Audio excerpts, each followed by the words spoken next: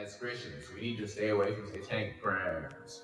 When our prayers turn to selflessness, they are Christian. But when they are selfish, then they're satanic.